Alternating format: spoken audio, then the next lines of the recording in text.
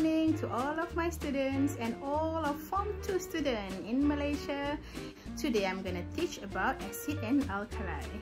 The topic of acid and alkali is very important topic to be learned for those who have very keen interest towards chemistry, who have the ambition to work in the field, the industry or in the medical sector, in agriculture and many more. Well, what is acid and what is alkali? Acid is substance that contain hydrogen ions and alkali is substance that contains hydroxide ion. I do what, mommy? Yes, I know, I know. It doesn't matter. But at this moment, it is very important for you to understand that acid and alkali have a few properties that could distinguish between them.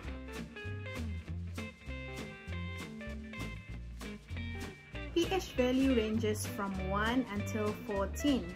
The range of pH value for acid is from 1 until 6.9 and for alkali is from 7.1 until 14 and pH number 7 is for neutral substance. For acid substances, they tend to have the sour taste like whereby for the alkali, they tend to have bitter taste like. Both strong acid and strong alkali are corrosive. What is corrosive? Corrosive is the ability of the substance to corrode any surface that they are in contact to. we have two types of litmus paper, a red litmus and the second is blue litmus. When we dip a red litmus paper in in an acid substance, the litmus doesn't change color, it stays red. But if you dip the red litmus paper in alkaline substance, it changes from red to blue. And for the blue litmus paper, if we dip into the acid substance, it changes color from blue to red.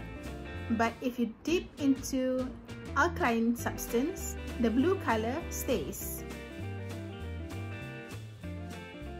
When we immerse a type of metal inside the acid, for example aluminium, the acid reacts with the metal to release hydrogen gas. And this gas can be confirmed a hydrogen when we test with burning wooden splinter. So it will give a squeaky pop sound when we place uh, the splinter near the gas. For alkali substance, no reaction. Now let's talk about the role of water. all solid and gaseous substance will not show their acidity or alkalinity properties without the presence of water. With the presence of water, molecules from the acid will disassociate to form hydrogen ions. Hydrogen ions in water, Uh, the properties of acid revealed. And for the alkali, with the presence of water, ionization will happen to produce hydroxide ions and this hydroxide ion is responsible for the properties of alkali. So all the things that we found in our daily life is not easily to be labeled as acid or alkali. We must use the term substance when we say the substance is an acid substance, it means it contains acid inside the, inside the substance. And when we say the substance is alkali substance, it contains alkali in the substance. So the example of acid substance that are commonly found in our daily life are fizzy drink or some people call it carbonated drink in the carbonated drink, it contains carbonic acid. Second example is vinegar. It contains acetic acid. The next one is fruit juice. Different juice contains different acid. For example, we have citric acid in lemon juice, lime juice, orange juice, gooseberry juice. They contain citric acid. Some juice contain malic acid. Example, apple juice, apricot juice, blackberry and cherry juice. Oxalic acid in carrot juice and tomato juice. Tartaric acid in banana juice, avocado juice. Ascorbic acid in guava juice, passion fruit juice and kiwi juice. Now the example of alkaline substance in our daily life. Oven cleaner, it contains ammonia, baking soda, it contains sodium bicarbonate, and drain unblocker, it contains strong alkaline, sodium hydroxide and potassium hydroxide. Now let's talk about indicator. Indicator is a substance that have different color and it changes color when being tested on either alkali or acid. The color changes by the indicator could be used to determine whether the substance tested is acid, alkali or neutral substance. Phenolphthalein is a chemical compound used as an indicator for alkaline titration process. It's a procedure used to measure the amount of alkaline substance needed to neutralize an acid substance. The original color of phenolphthalein is colorless.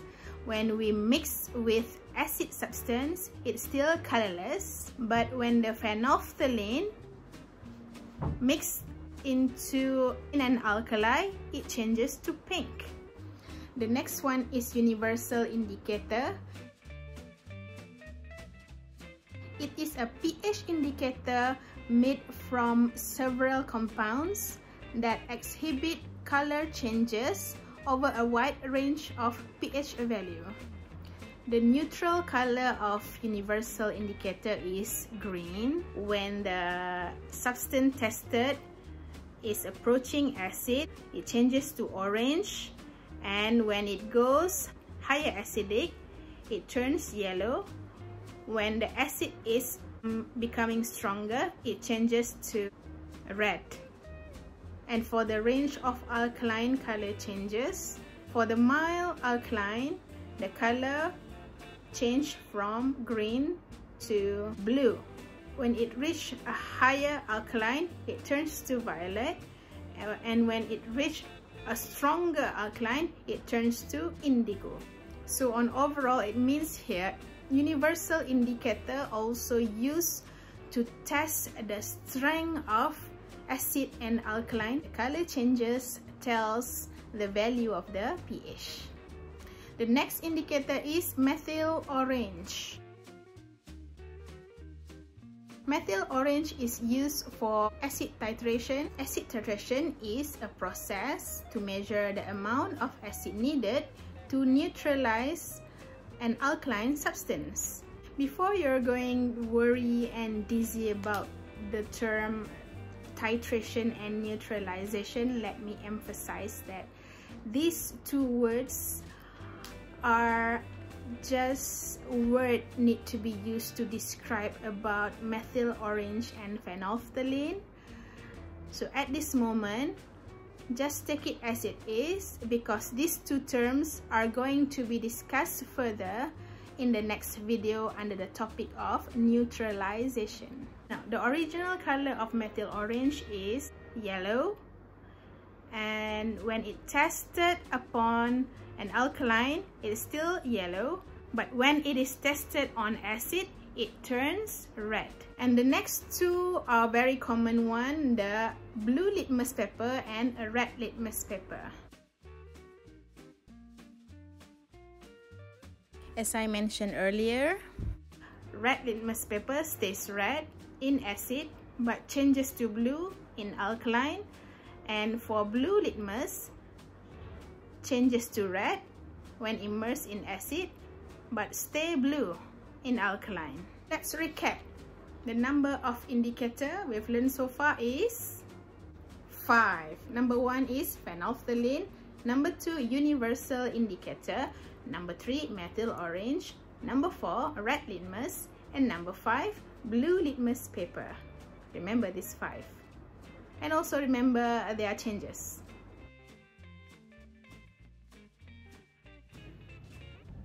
Okay, now let's talk about the application of acid and alkali in agriculture, industry, and also medical sector. In agriculture sector, lime water is used as fertilizer. It is an alkaline substance to control the pH value of a soil. Agriculture lime helps to reduce the acidity of soil. By applying lime to the soil when it becomes too acidic, the farmer is helping their crops to grow healthier. The growth of crops for farmer is very important. If the crops is not growing healthy, it will affect the whole agriculture business, including the bottom line. It is very important to test the soil's pH value to know when, where, and how much how much lime water as a fertilizer to be applied on the soil so that the application of the lime water to the soil is at its optimum level. In the industry, acid and alkali are the workhorse in the chemical industry. They are found across a wide range of application including production of dyes and pigments, artificial fibers, production of plastic, soaps and paper, textile treatment, photography, and also glass making.